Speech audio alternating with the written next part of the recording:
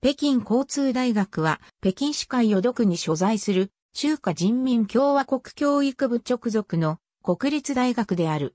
1896年に創立された。略称は北工大。211校程、総一流の聖院校である。1896年、北京鉄道管理伝習所として設立。1917年に北京鉄道管理大学と北京郵便大学に分かれた。1921年、この2校と上海工業専門学校、東山工業専門学校が合併して交通大学となった。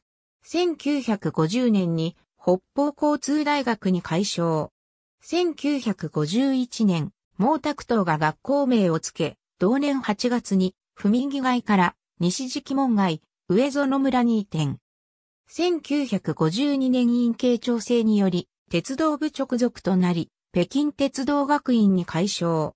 1960年10月に国家重点大学に昇格した。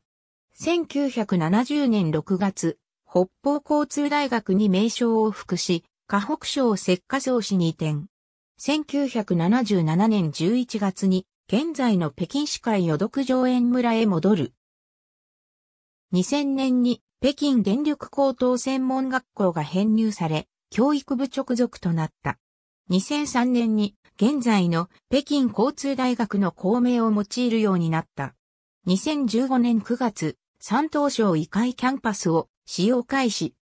電子情報工学、計算機、情報技術学、経済管理学、交通運輸学、土木建築工学、機械、電子制御工学、電気工学、理学、マルクス主義学、言語、メディア学、ソフトウェア学、建築、アート学、法学。ありがとうございます。